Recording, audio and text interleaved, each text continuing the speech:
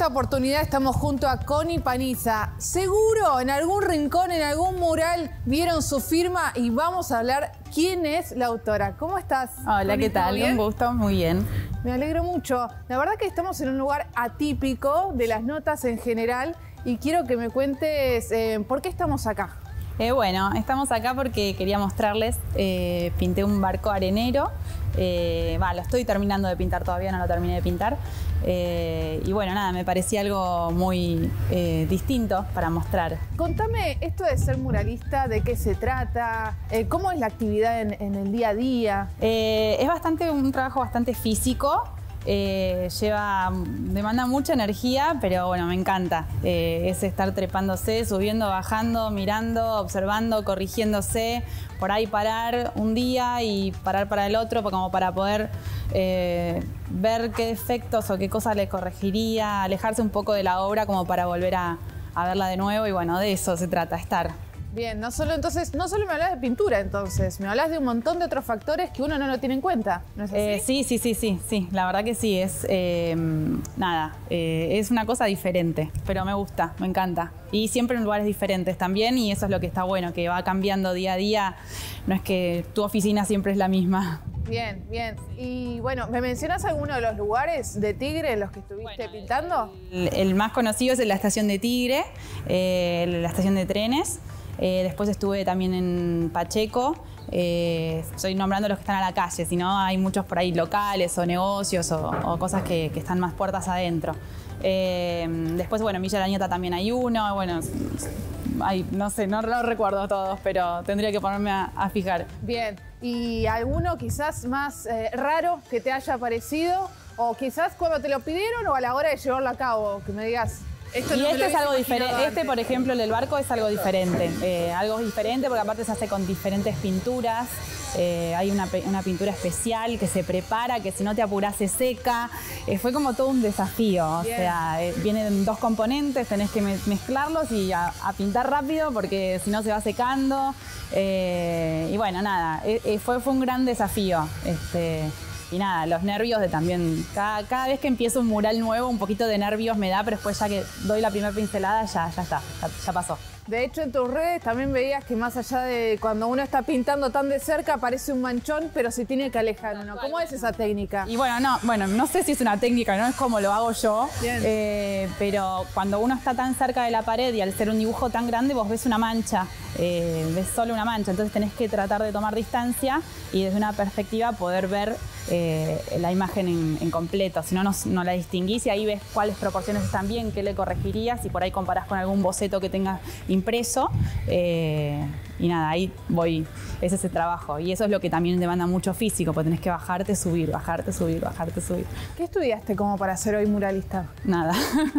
Eh, no, estudié diseño gráfico y administración de empresas, nada que ver.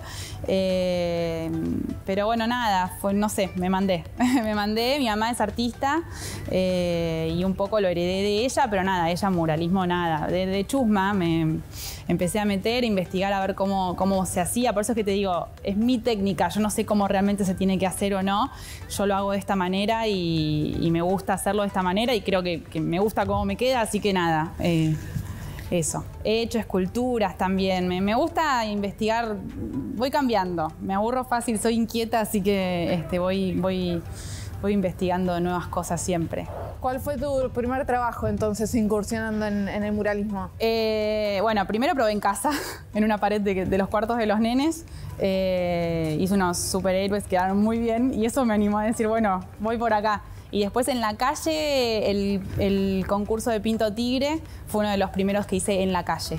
Eh, que hice una chica, está, está, linda, todavía está. En Villa La Niata, en Dique Luján, más precisamente. ¿Y cuándo fue cuando dijiste, bueno, yo me tengo que dedicar a pintar? No, no, enseguida, no tardé mucho. Me mandé y seguí y no paré. Y no, no, no, tardé mucho, no sé, era unos 4 o 5 años, no me acuerdo cuándo fue, 5 años, 6 años, como mucho, este, que empecé con todo el tema de muralismo.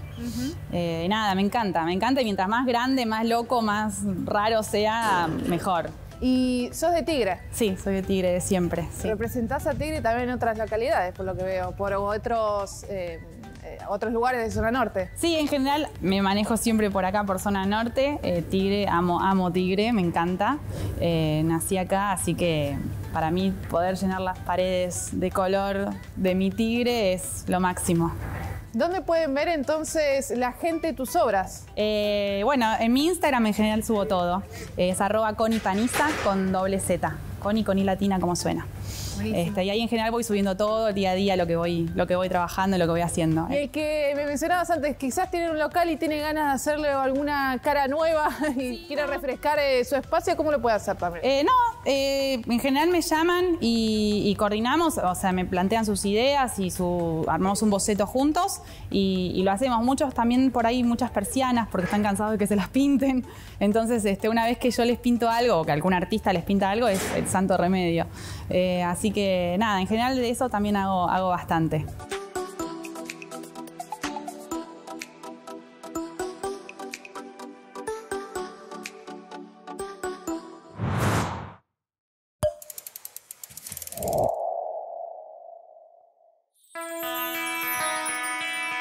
Tigre es el lugar que a mí me permitió crecer. Es el lugar que me dio amigos, que me dio trabajo, que me dio oportunidades, sobre todas las cosas, el orgullo de ser intendente de este lugar. Yo me conecto con el verde, con la naturaleza de Tigre. Acá me muevo tranquilo y tengo todo re cerca. Acá llegamos y acá nos vamos a quedar. Tigre es el lugar donde quiero vivir.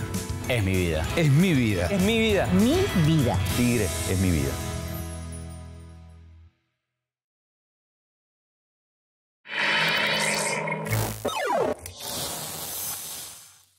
No te pierdas lo más importante que pasó esta semana en Tigre en tres minutos.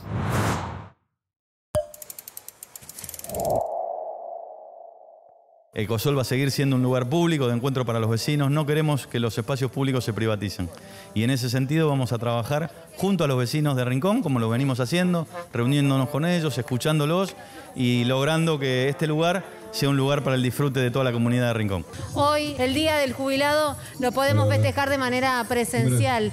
Y la verdad que eso nos llena de felicidad, reencontrarnos con nuestros abuelos, que forman parte de los polideportivos, que forman parte de los clubes de barrio, que pasaron momentos difíciles y que hoy vuelven a reencontrarse con sus amigos, con sus familias, con, con nosotros, con, con quienes estamos trabajando con ellos. Esperábamos este momento así de estar juntos porque un año, un año y medio que estuvimos encerrados, así que esto nos viene bien. Son todos muy compañeros, los profes espectaculares, la atención muy buena en el poli y hacemos de todo. Bailamos, cantamos, compartimos y es lo mejor que hay. La gente grande lo que necesita es esto. Estar juntos, estar para hablar, para bailar, para jugar algo, para hacer algún deporte. La gente sola se está muy mal. Y entonces hay que tener el grupo y venir a estos lugares. Muy, muy ameno, con mucha alegría, muchos abrazos.